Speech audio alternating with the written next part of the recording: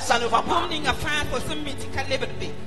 Arrange avec Dieu. ne dis pas, c'est cette chose est là et que je Souvenez-vous qu'un jour, tɩ un homme avait planté. Il avait fait une bonne semence dans son champ.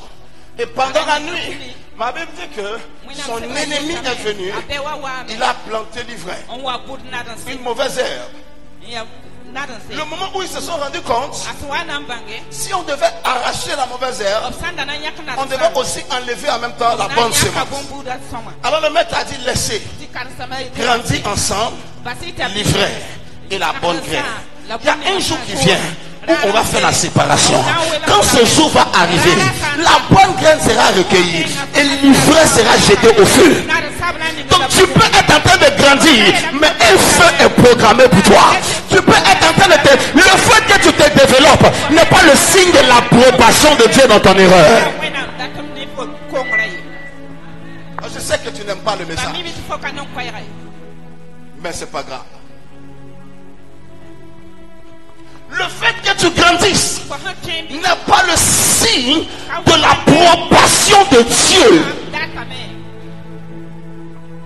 Les résultats peuvent continuer à venir, mais Dieu n'approuve pas. Le temps de silence de Dieu est pour toi le temps de la repentance et de la raison.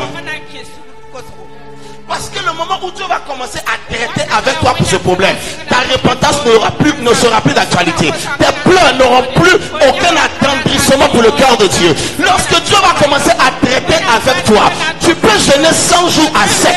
Dieu ne t'écoutera pas. Lorsqu'il va commencer à traiter avec toi pour ce problème, ta repentance n'arrêtera pas son jugement.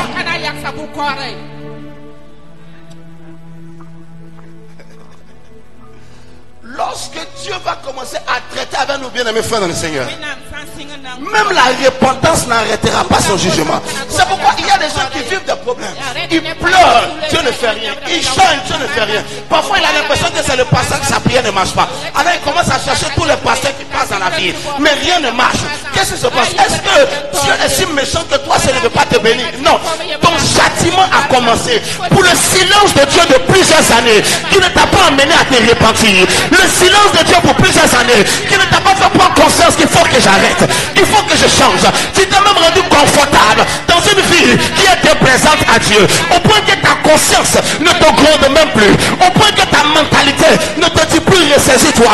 Ton esprit est devenu confortable avec l'illégalité vis-à-vis de Dieu.